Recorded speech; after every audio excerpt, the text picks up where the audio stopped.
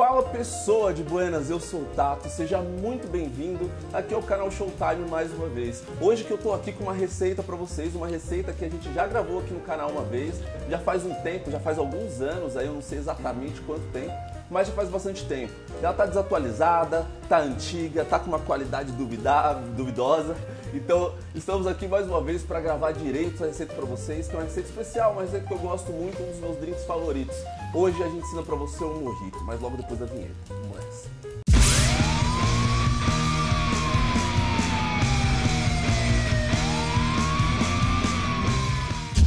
Então vamos nessa. Então vamos aprender essa receita que é tão maravilhosa, ela é, ela é tão refrescante, tão tropical e tanta gente faz essa receita errada, dá uma dó. Então vamos lá. O que, que a gente vai precisar para essa receita ficar perfeita? A gente precisa de açúcar ou xarope de açúcar, a gente precisa de rum branco, a gente precisa de hortelã e gelo, basicamente isso. E limão, claro, limão, muito importante. Então, tendo tudo isso, muito simples o morrito, é só você tomar cuidado para fazer ele direitinho com amor, porque amor é, é, é o ingrediente chave aí do morrito, o cuidado que você usa para fazer. Então a gente começa então com a hortelã. Você vai usar por volta de 8, 9 folhas de hortelã. Isso é o que a receita original lá da, da International Bartender Association pede. Porém, eu uso um pouco mais, eu gosto do sabor da hortelã bem acentuado nesse drink aqui. Então vamos lá. A gente, primeira coisa, junta todas essas folhas e passa aqui na borda do copo. Passa em toda a borda e você vai ver que ele fica já com um aroma de hortelã maravilhoso para quando for beber. Joga as folhas lá dentro, certo? Estão todas lá. Próximo passo: açúcar são duas colheres de bar de açúcar, duas BSP, né? Colher bailarina. Ou você pode usar uma colher de chá bem cheia no lugar. Vamos lá, duas. Foi. O limão agora. O limão a gente vai fazer um corte simples aqui no meio da, da casca mesmo, no meio do limão. Usar um espremedor e espremer esse limão. Eu gosto de usar um limão inteiro para fazer o morrito. Eu não gosto de, de utilizar só meio limão, porque eu também gosto do sabor do, do limão bem acentuado. E agora chegou um dos pontos-chave dessa receita. Já colocamos o hortelã, o açúcar, o limão. A gente vai macerar essa hortelã. Só que o segredo é o seguinte: a gente não pode macerar usando a parte estriada do macerador. A gente precisa usar uma parte lisa. A hortelã é uma erva que ela tem uma característica de que ela não solta o aroma e o sabor dela por meio de torção, e sim por meio de pressão. Então é simplesmente apertar a hortelã sem ficar girando, principalmente com a parte estriada, porque você vai esbagaçar toda a sua hortelã, vai ficar pedaço de hortelã no, no drink inteiro e não vai ficar legal de beber. Então vamos lá, só pressionando.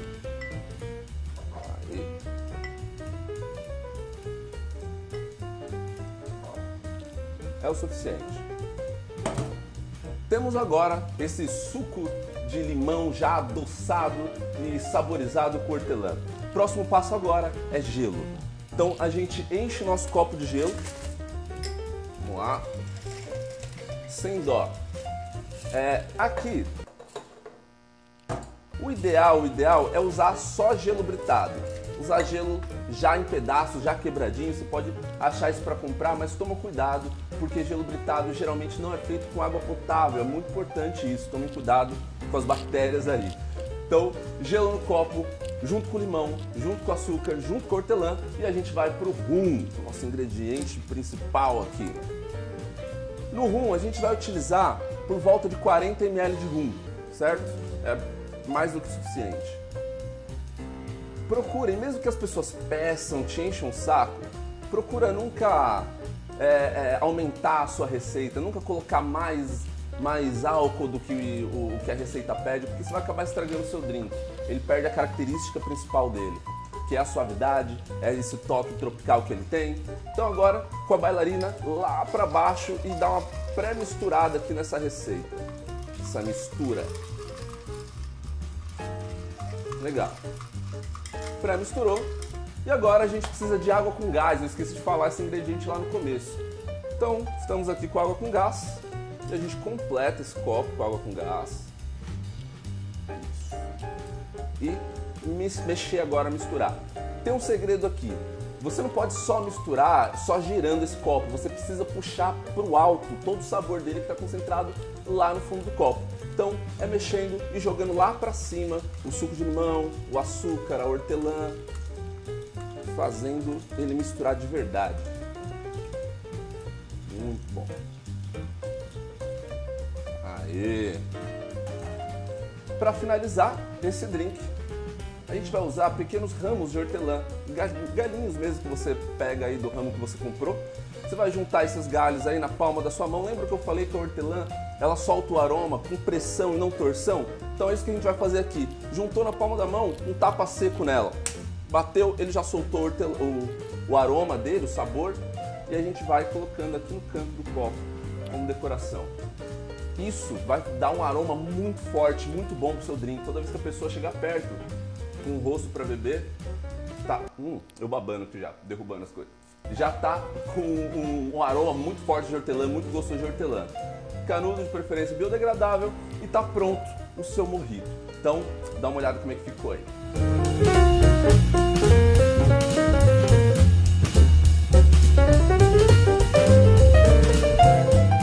Uma coisa que é muito interessante sobre o morrito é a história dele. É uma história meio, meio dualística ali, meio é, duas histórias diferentes são contadas aí, vindo na, na, história aí, e nunca ninguém soube qual é a história verdadeira.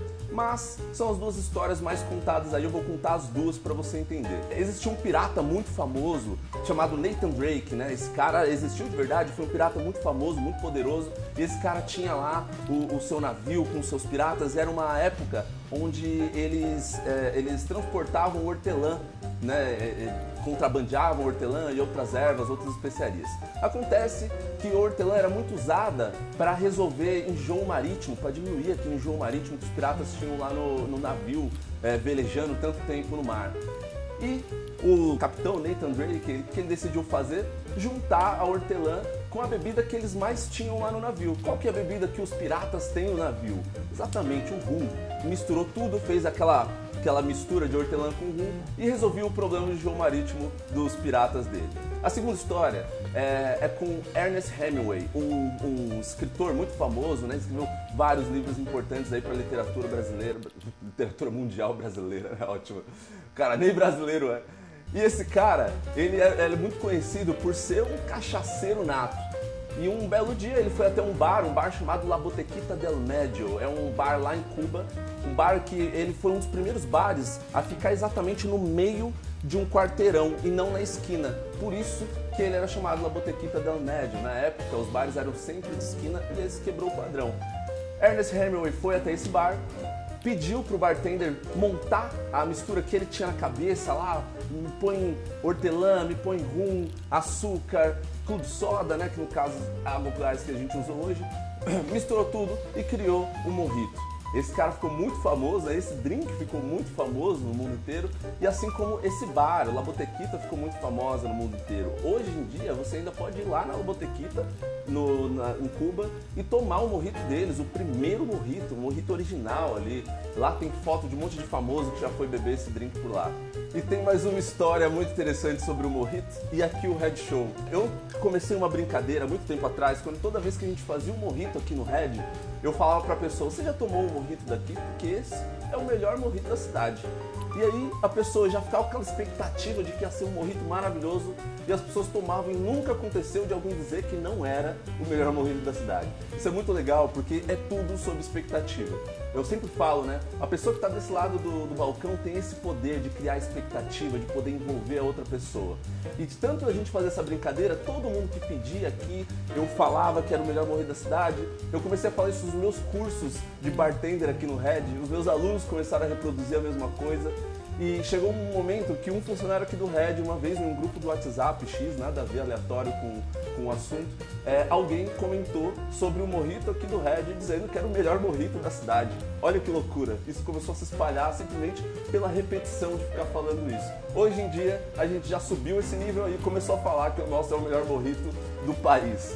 Então, essas são as histórias do morrito. Um drink que é tão tropical, tão saboroso e ele acompanha em qualquer tipo de rolê, beleza?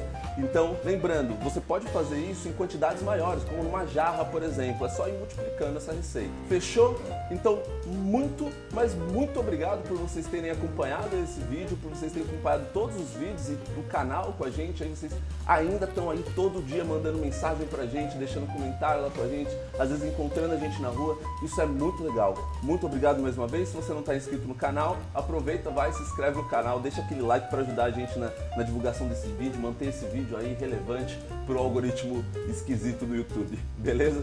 Então a gente se vê no próximo vídeo. Valeu!